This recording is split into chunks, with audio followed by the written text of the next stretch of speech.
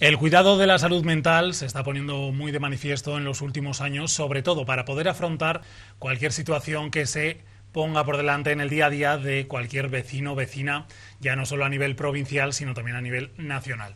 Hablando de datos y centrándonos en la parte más joven, ese sector poblacional, bueno, pues según eh, los datos del Instituto Nacional de Estadística, en el último 2021 ha habido un incremento exponencial y además considerable en torno al 63% con respecto al 2020 del número de casos de suicidios. En torno a esta cuestión han surgido varias herramientas, varios planes, como el que hoy nos trae a la redacción y a la mesa de Calamocha Noticias para abordar ya en profundidad. Y lo vamos a hacer de mano de dos psicólogas de nuestra provincia de Teruel. En este caso, Marta Borrás, ella es psicóloga de la Asociación de Salud Mental de Teruel, ASADME Teruel, y también de Nuria Latorre, psicóloga, en su caso, de la entidad Sícara Psicología que han sido las que se han encargado del programa que han llevado durante el primer trimestre del curso a los centros escolares, tanto de primaria como de educación secundaria, para conocer todos esos detalles y también conocer el pulso y hacer esa medición del pulso de nuestra provincia turolense. Hoy nos acompañan y están ya con nosotros en el plato de Calamocha Noticias. Pasamos directamente a hablar con ellas. Marta, Nuria, bienvenidas a Calamocha Noticias y buenas tardes. Buenas tardes. Bueno, mencionaba ese plan, un plan y un programa sobre todo para la prevención del suicidio y en este caso de los sectores de la población más vulnerables, que además luego ya iremos profundizando un poco porque se ha ampliado también a otros agentes que intervienen con este sector poblacional para enterarnos todos un poco y conocer cuáles han sido esas líneas. Eh, contadnos en qué ha consistido y cuáles han sido los objetivos, sobre todo, que se ha pretendido con este programa. Quien quiera de las dos podéis, podéis empezar. Bueno, a ver, eh, nosotros desde la Asociación de ASAP Meteruel nos encargamos sobre todo de los centros de primaria, ¿no? sobre todo los últimos cursos de primaria, quinto y sexto. Entonces ya no se abordaba tanto lo que era prevención del suicidio, porque es gente muy joven, sino que sobre todo hemos trabajado por, con gestión emocional. ¿vale? Hemos hecho talleres sobre gestión emocional para que los críos sepan un poco qué emociones hay, cómo hay que gestionarlas, qué hay que sentirlas, qué hay que expresarlas. Y luego también con padres y profesores sí que hemos trabajado ya pues, sobre ámbitos de actuación con el tema del suicidio. En el caso de Sícara, eh, entendemos también por las palabras de Marta que os habéis centrado más en esos adolescentes, ¿no? Eso es, Sícara nos hemos, hemos sido un poco complementarios, ¿no? Y hemos ido como a la siguiente etapa con los adolescentes. Aquí ya hemos entrado un poquito más en profundidad, eh, hemos intentado trabajar cuando se nos desborda el vaso, qué detectamos, ¿no? Para que sean capaces de, de ver señales en sí mismos o en el resto de compañeros y cuando veamos señales, qué hacer, a dónde acudir, eh, cómo, cómo detectar esto, cómo puedo yo ayudar sin ser psicólogo o psicóloga, ¿no? Y para complementar ello también, con profesorado, hemos hecho eh, unos talleres en los que pudieran detectar cuándo los alumnos verbalizan ciertas cosas, cuándo eh, puede ser que estén presentando cierta sintomatología, ¿no? Y empezar a poner un protocolo eh, de prevención del suicidio que hay en los centros educativos si es necesario.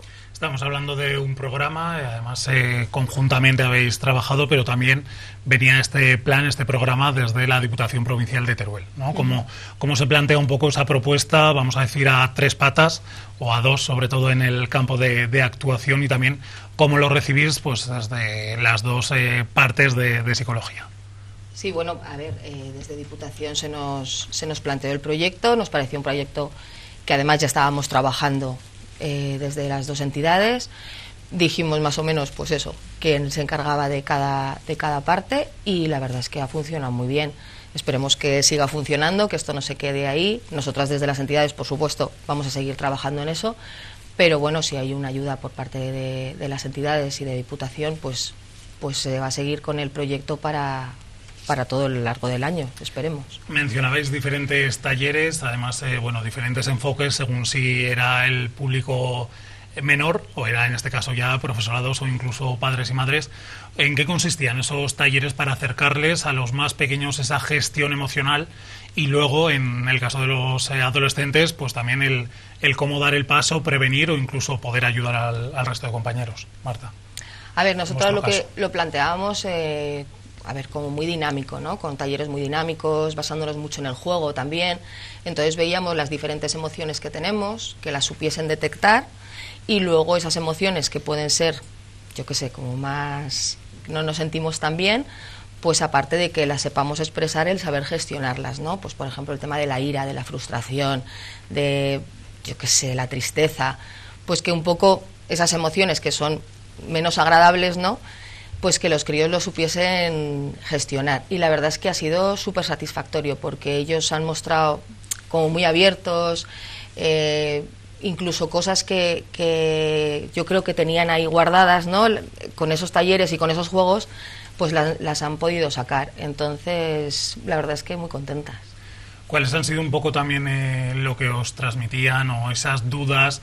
Al final estamos hablando de, bueno, pues población, los eh, jóvenes de, quinto y de sexto están terminando ya ese ciclo de, primaria, pero aún así son pequeños mm. y sobre todo para afrontar ese cúmulo de emociones que a lo mejor van, van guardando, van guardando y como dices, hasta ese taller pues no llegaron a exteriorizar.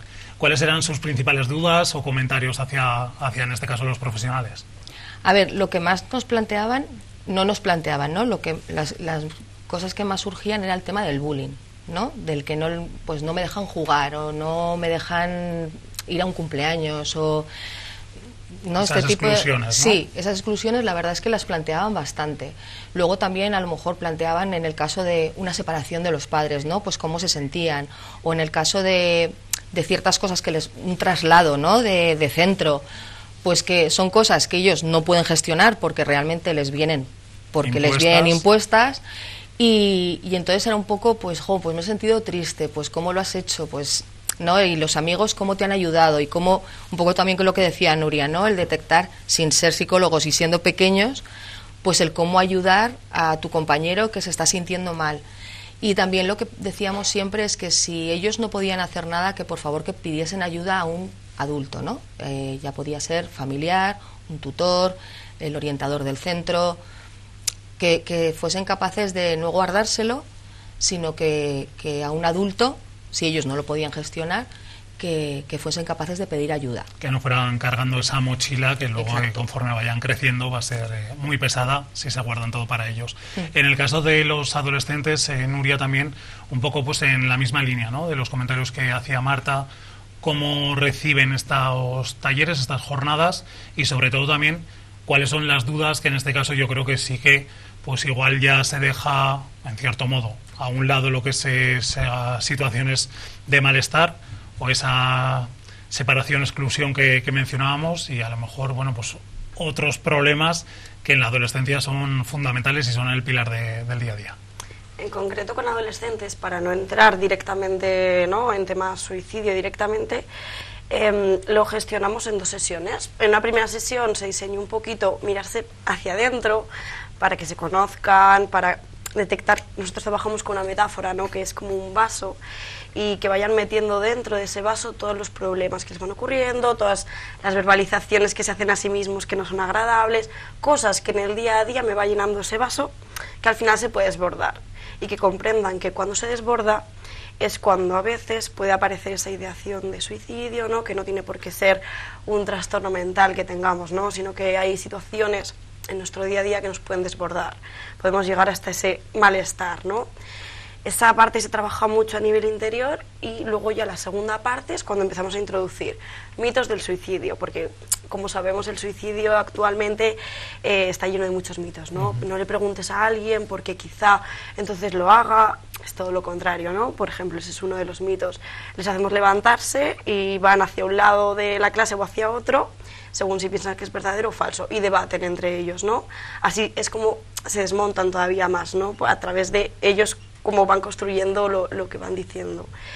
Y luego ya hablamos directamente de señales, cómo verlas en los demás, sobre todo nos enfocamos, como eh, si veo algo en un compañero, pues en vez de decir este de no te rayes, ¿no? que siempre les decimos este y se ríen, pero es verdad, se sienten identificados en eso, entonces preguntar qué tal, ¿Qué, cómo estás, ¿no?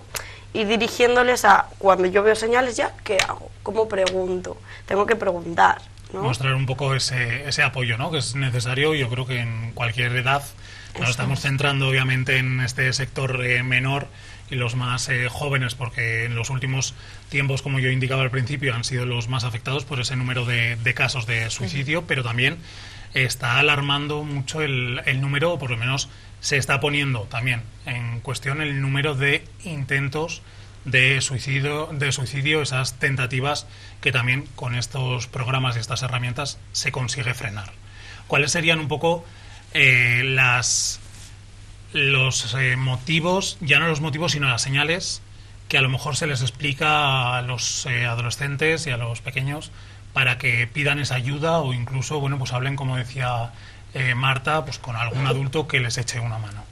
¿Cuáles podríamos decir que son las señales que todos tenemos también que tener en cuenta en nuestro día a día? Porque, bueno, el mensaje puede ser dirigido a cualquiera de los sectores de, la población.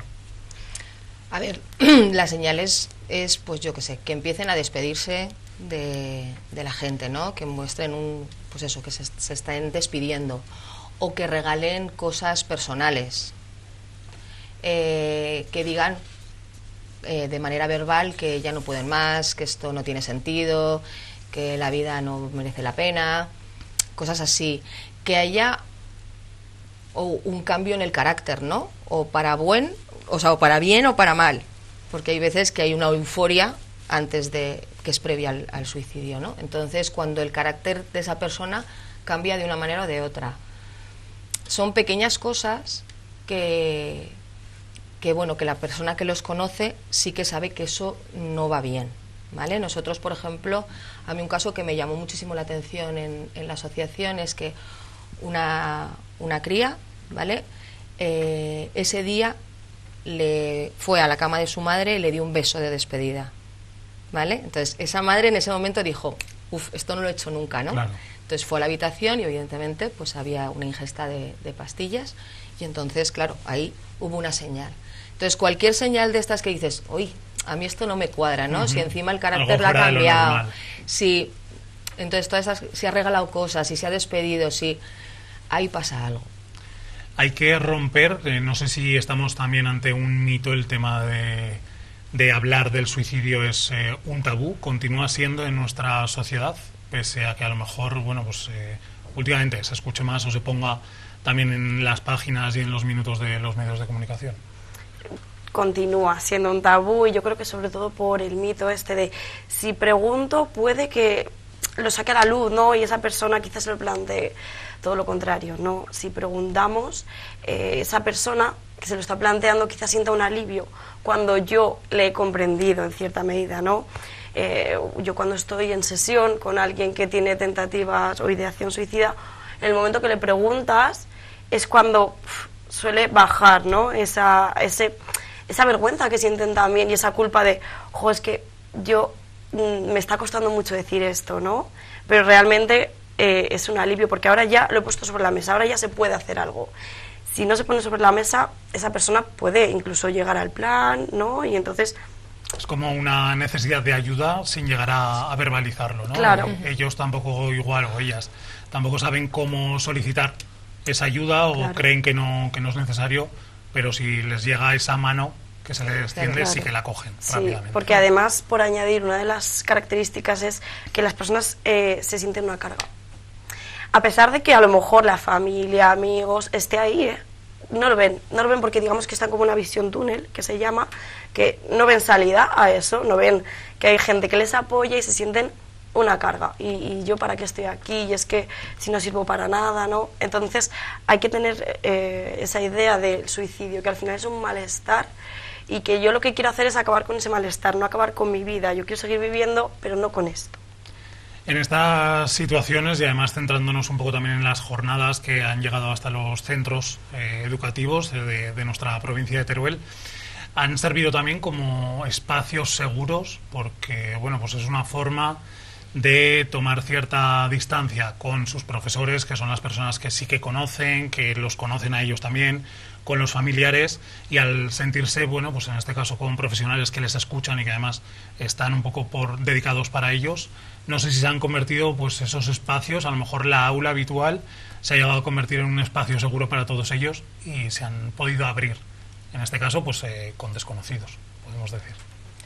A ver, yo por lo menos creo que, hemos abierto la veda. O sea, es decir, que por lo menos en centros donde antes, lo como lo decías, no era un tabú, no se hablaba del tema, eh, no se comentaba, pues tanto con niños como adolescentes, este tema por el miedo a ver si, si hay alguna tentativa, pues la verdad es que hemos abierto la veda y decir, no, se puede, abrir se puede hablar de este tema, eh, podemos pedir ayuda, podemos tener más confianza con nuestros profesores o con nuestros padres o con quien sea. Entonces, yo creo que ha servido para eso, para decir, bueno, rompemos este tabú, rompemos esta brecha y por lo menos ya se puede entrar ahí. ¿vale? Y creo que es más fácil trabajar. ¿Cómo ha sido también ese trabajo eh, con los profesores y sobre todo con los padres, madres, tutores de los menores que además, bueno, pues cogiendo un poco el, ejemplo que tenemos nosotros aquí, cuando llegasteis al Ricardo Mayén, pues exclusivamente solo fue una madre a esa charla. No sé si en el resto de, centros de la provincia eh, ha seguido esa tónica de falta de asistencia por los eh, padres y madres y tutores o sí que ha habido respuesta y asistencia a este tipo de, jornadas. A ver, depende del centro y del sitio, pero la verdad es que sí que ha habido una acogida. En total se han hecho unas charlas con 200 padres al final, entonces sí que ha habido una, una gran acogida. Sí que es verdad que los padres pues están a lo mejor como más liados con muchas historias, entonces a lo mejor se le plantea desde el centro una reunión para hablar del suicidio y es como, ¡Ah! Dios mío, ¿no? Pero, Volvemos a ese tabú sí, anterior. Sí, pero bueno, al final sí que es verdad que, que, que ha habido centros donde, donde los padres han respondido muy bien y se han quedado como un poco perplejos, ¿no? De, lo que les dices, de lo que les cuentas, de que piensan que a, los, que a lo mejor siendo tan pequeños no va a pasar nada, cuando realmente los niños pequeños pues también sufren y sufren mucho y hay que tenerlos en cuenta también. Y en el caso de, de los profesores eh, con los que habéis trabajado, ¿cómo ha sido también un poco su respuesta? Ellos al final están de forma constante, por lo menos por las mañanas, vamos a, a matizarlo, con los alumnos, no sé si también, pues un poco en la misma línea que los eh, padres de cara a, bueno, pues llegar a sorprenderse de algunas situaciones. Eh, en cuanto a docentes a lo largo de la provincia hemos llegado a más de 300 y ha habido una muy buena acogida, la verdad. nos han agradecido mucho eh, todas las señales, todas estas cosas que íbamos enseñándoles y de hecho demandaban más, ¿no? Y las sesiones eran muy interactivas, preguntaban mucho, nos centrábamos mucho en ejemplos, cosas que podían haber visto, entonces se hicieron muy prácticas, la verdad. Y, bueno, vimos un feedback muy positivo por su parte, porque también lo que ha dicho un poco Marta, eh, era la primera vez que se hablaba de esto. Hasta que llegamos era un poco, bueno, sí, yo he visto algo, pero ¿qué hago yo? ¿Yo, yo cómo puedo ayudar. ayudar. Entonces, bueno, pues de esta manera, ¿no? Podéis hacer esto, se activa el protocolo. ¿Cuál es un poco el protocolo de actuación una vez que se puede tener sospechas que hay esos pensamientos, esas tentativas de llegar a, a esa situación de, del suicidio? ¿Cómo se eh, actúa en, en, los casos? Cuando se detecta un caso, eh, bien sea porque uno, el alumnado ha avisado o los profesores lo han visto, eh, o ha habido algún intento que se ha avisado al colegio, directamente dentro de los centros educativos hay, hay un protocolo de, en educación eh, se activa y entonces ya se sabe que en esa clase hay un intento ¿no? o, ideación suicida y bueno, pues eh, los profesores lo saben, si hay ciertos talleres como los nuestros, podemos intervenir en ellos, ¿no? De hecho, en algún instituto nos preguntaron, oye, en esta clase tenemos un protocolo abierto, ¿es conveniente que, me, que vengáis? Y les dijimos sí. Eh, mejor, mejor todavía. Toda esa situación. No sé, yo mencionaba que, bueno, pues en los últimos tiempos parece ser que el cuidado de la salud mental, eh, obviamente, ha saltado a la actualidad, a nuestro día a día y parece que estamos todos prestando un poquito más de atención, aparte de la salud eh, vamos a decir, más tradicional que conocemos eh, habitualmente. No sé si con eh, la llegada de la pandemia, además recién cumplidos los tres años desde que se instauró ese estado de alarma, si se ha visto agravado, si se le está echando como muchas culpas a la llegada de la pandemia, porque es una situación que ya a nivel nacional y también regional y provincial ya se estaba atravesando por parte de, la sociedad. ¿Cómo lo estáis viendo también? ¿Cómo lo veis habitualmente la evolución por parte de los dos equipos de, psicólogos. A ver, nosotros sí que hemos visto que, la pandemia ha hecho mucho daño a nivel de salud mental. A ver, nos encerraron en casa, o sea, es que nos encerraron y la gente que tenía muy poca, o sea, tenía carencias en habilidades sociales o tenía eh, problemas de aislamiento o tenía problemas sociales, pues aún se agravaron más. La gente que no tenía se agravó un poco, ¿no? Y luego, sobre todo, en, claro, la gente se vio con que no tenía trabajo, con que se había quedado sin medios económicos, con, yo qué sé, pues separaciones de pareja, pues porque es verdad, pues porque te meten ahí en, en una casa y no puedes salir y entonces hay problemas dentro de la familia. Es que ha habido un, como un cúmulo de muchas cosas, ¿no? Y entonces, sobre todo a los adolescentes, se les ha privado, pues eso, de una etapa donde están con las hormonas a mil que tienen que salir, que tienen que disfrutar, que tienen que socializarse y en ese momento se les dijo que no. Entonces se han perdido muchas oportunidades y ellos, pues en ese momento, creo que, esa frustración todavía la, traen con ellos, ¿no? De decir, es que me habéis quitado pues unos años muy buenos. ¿no? Por, lo que me han comentado eran muy buenos. Claro, por lo que me decías. disfrutarlos. Claro, entonces eh, ahí sí que se nota. Y luego a nivel de, población adulta, pues lo mismo, la soledad de las personas mayores. Es que ha habido muchas cosas, entonces eh, nosotros sí que lo hemos notado que se ha agravado bastante. ¿Que cada vez se va a normalizar más la situación? Pues sí, pero bueno, eso sí que ha dejado mella. Y en vuestro caso también en Sigara, ¿cómo, cómo lo habéis vivido también esa evolución? Sí que hemos visto un poco que las personas se han dado cuenta de necesito hablar de esto, esto que me ocurría, sí lo tenía ahí, pero ahora me he dado cuenta que se ha disparado todo y al final eh, el aislamiento acarrea muchas consecuencias, ¿no? Somos seres sociales, necesitamos convivir con los demás y que nos corten mm, y nos obliguen a cortar nuestro día de golpe, bueno, pues ha tenido muchas consecuencias yo creo que además ha sido también eh, por parte de influencers, medios de comunicación, etcétera, hablar de la salud mental. ¿Qué ocurría cuando estábamos en nuestras casas? Que estábamos con nuestros pensamientos, nosotros mismos, muchas horas, cosa que normalmente no solíamos hacer. ¿no? Lo primero que hacemos además cuando estamos con malestar, o una de las opciones es evitarlo. Me voy a no sé dónde, no, en casa no en casa teníamos que lidiar con ello. Entonces, bueno, pues aquí es cuando hay personas que se han dado cuenta que quizá no tengo las herramientas para llevar esto, ¿no? O esto que me ocurrió se me está mm, atragantando un poquito. Nos falta a lo mejor eh, parte de educación para los... Eh, pues los contratiempos, las frustraciones, que en este caso eh, ha venido. Además, bueno, creo que en las últimas jornadas también se ha puesto y se ha hecho hincapié en, ese, en esa cuestión, ¿no? en esos conceptos que igual no estamos formados. ¿Cómo, ¿Cómo, lo veis vosotros desde las áreas?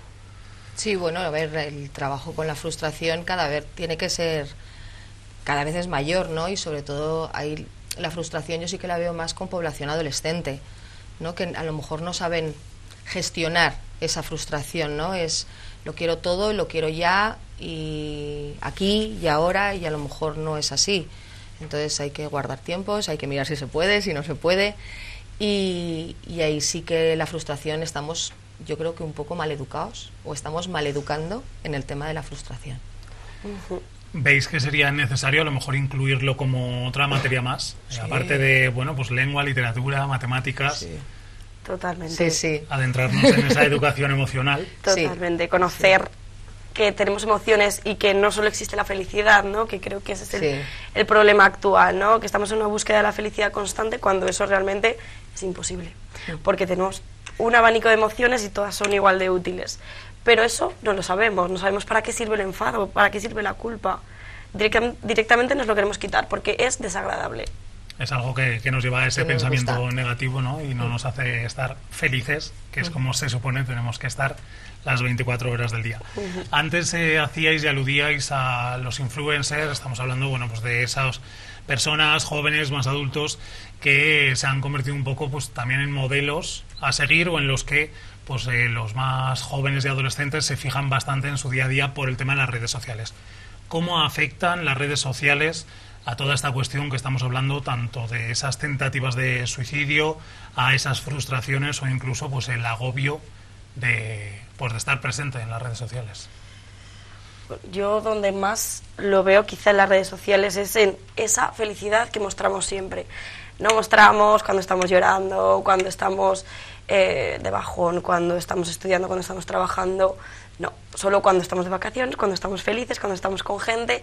Y al final pasamos muchas horas eh, con el TikTok, Instagram, Facebook y vemos eso. Entonces construimos una realidad de felicidad, que vamos en búsqueda de eso y realmente eso no es la realidad. Eh, si yo pienso que eso es la realidad y yo no estoy siendo feliz, porque los demás sí, yo no, todavía me siento más culpable, eh, esa frustración todavía la tolero menos, ¿no? Es como una, una pescadilla que se muerde la cola. Es una espiral de la que hay que salir, ¿no? O por lo menos tener un pie fuera de esa espiral para recordar que obviamente estamos ante redes sociales y como decía y aludía Nuria, quizás es un poco la idealización del día a día de todas las personas Sí. Que hay eh, presentes en redes. Por ir concluyendo la entrevista y también para que bueno pues los espectadores ya no solo por el tema de la población más, más joven, sino también los adultos o incluso la población envejecida que bueno pues prima en nuestras tierras del Giloca y también de, Calamocha sepan de qué forma contactar con, con vosotras, eh, también qué, qué servicios o qué coberturas van a encontrar si bueno pues os solicitan esa ayuda, esa mano que no se está centrando exclusivamente en el tema de las tentativas de suicidio, el propio suicidio. Contadnos. A ver, nosotros trabajamos en, en el ámbito de rehabilitación psicosocial y laboral con personas con enfermedad mental grave.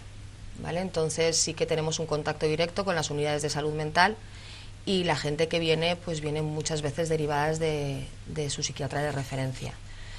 Eh, aparte de eso, bueno, pues pueden contactar con nosotros. Yo te digo el teléfono, es 978-610909, ¿vale? Y, y bueno, sí que se habla, pues eso, tenemos pisos tutelados, tenemos un taller de empleo, tenemos un centro especial de empleo, no sé, trabajamos pues eso, todas las áreas de lo que es la rehabilitación de la persona con enfermedad mental. Y en el caso de Sicara, ¿cómo, cómo está organizada, estructurada? En Sicara un poquito tenemos bueno, un centro en Teruel y también atención psicológica en Zaragoza. Atendemos a nivel individual tanto población infantil, adolescentes, adultos, em, tanto presencial en nuestras dos sedes como online. También trabajamos mucho a nivel de provincia y ahora tener la posibilidad de hacerlo online nos hace que podamos acceder y puedan acceder muchas personas ¿no? a esta atención psicológica tan importante actualmente. También ofrecemos servicios de promoción de la salud y prevención a través de talleres, tanto en institutos, centros educativos como a población general. Y bueno, luego dependiendo del proyecto que llevemos a cabo, hay veces que tenemos proyectos enmarcados en la prevención del suicidio, como es en este caso. También solemos tener proyectos de población LGTBI, un poquito dependiendo del momento, ¿no? Pero lo fijo es esta atención individualizada y estos talleres más a nivel de promoción de la salud. Bueno, pues ya saben nuestros espectadores que si necesitan esa ayuda o simplemente que, que les escuchen, pues pueden contactar y ponerse en contacto obviamente con cualquiera de las dos entidades. Y ya por concluir, el tema de las divulgaciones, no sé si seguís trabajando conjuntamente en algún nuevo proyecto, si habría una segunda edición de este programa que llegó en el primer trimestre y cómo, cómo se va a deparar el futuro más inmediato en esa, en esa línea de trabajo. Hombre, por nosotros, si hubiese una continuidad, pues estaría fenomenal, ¿no? Porque, claro, esto no es una cosa que se acaba en un trimestre y, y ya está. Si hubiese una continuidad, pues por nosotros, la verdad es que estaríamos encantados, ¿no? De, de poder seguir. Porque además los críos cada vez son diferentes. Claro, Entonces, van, van accediendo nuevos alumnos y van también creciendo, por Claro. lo tanto, pues puede suponerles eh, mayor eh, trastorno. Eso es. Parece que bueno, desde Diputación sí que están viendo que se puede impulsar de nuevo y nosotras estaremos encantadas, ¿no? Además hemos hecho muy buena complementación tanto Sí. en, educación primaria como en secundaria y creo que es importante este proyecto. Bueno, pues estaremos pendientes de esas sinergias, de esas colaboraciones y también de todos los proyectos de forma individual. Así que Marta y Nuria, gracias a ambas por estar con nosotros esta tarde y traernos, bueno, pues eh, la información más actual de nuestra provincia acerca de, esa prevención del suicidio y también los casos, por desgracia, de, de suicidio. Muchas gracias. Gracias a vosotros. A vosotros.